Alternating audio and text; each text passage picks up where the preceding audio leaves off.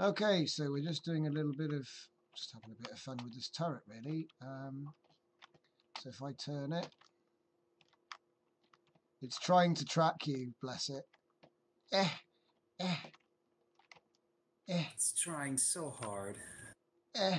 Luke, Luke, what are you doing? Use the force better. What are you doing? It's behind you. The TIE fighter's behind you, Luke. He's like, eh, eh, eh.